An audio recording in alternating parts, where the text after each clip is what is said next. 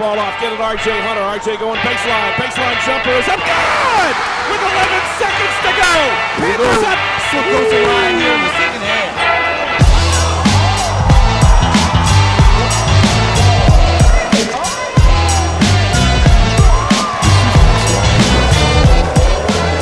As well as the season as it was last year, uh, I think we're all unhappy how it finished. Uh, um, I think that did give us a different type of motivation for this season, and uh, maybe things happen for the better. So um, we're a different type of breed now. We're different animals. We're hungrier.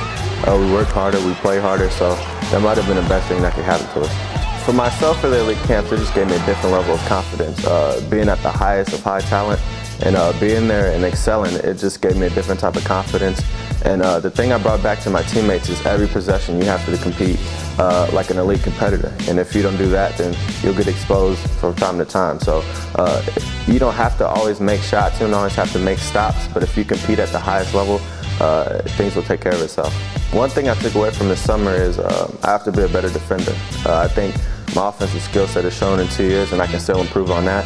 But uh, if I if I want to become an all-around elite player, then I have to be elite on both ends of the floor, and uh, that's something that me and Kevin Durant had to talk about, and uh, even LeBron raves about. Is how the best players compete on both ends of the floor. So uh, that means better conditioning, and better strength. But uh, next year, I'll definitely be a better all-around player.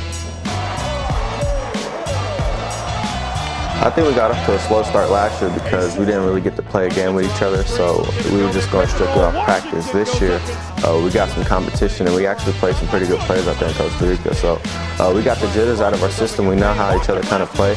So once we have three more or four more exhibition games, now we're eight games in and then we're ready to play.